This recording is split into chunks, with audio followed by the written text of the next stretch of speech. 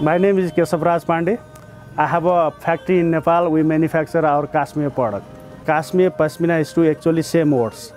Cashmere is to only neck wool from mountain goats. Pashmina is to different parts of body.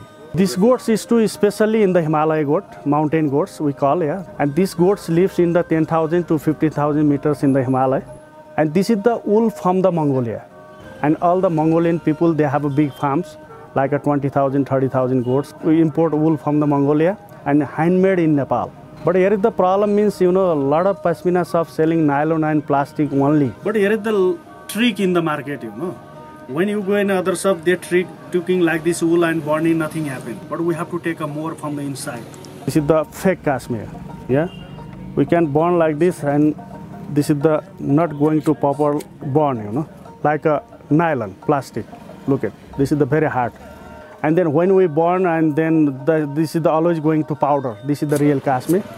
When we burn, this is the all going to powder. No, no like a plastic.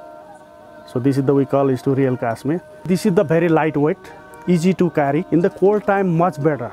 More warm, comfortable, and no side effect, no allergy also. For the health is to safe, you know, from the winter time, much better. So that's why everybody loves the cashmere.